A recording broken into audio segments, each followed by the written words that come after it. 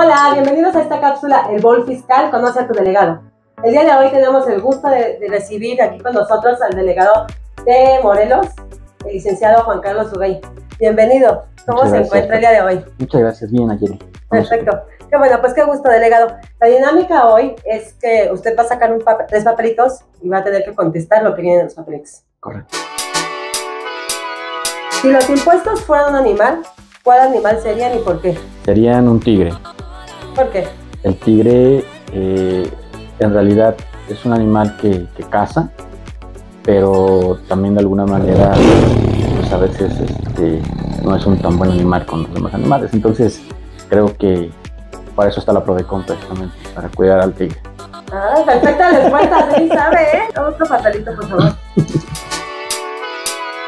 ¿Qué canción describiría mejor tu experiencia trabajando con impuestos?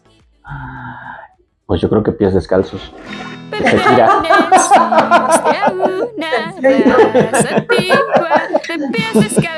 besos. Bueno, y la última es, ¿qué superpoder te gustaría tener para hacer tu trabajo más fácil?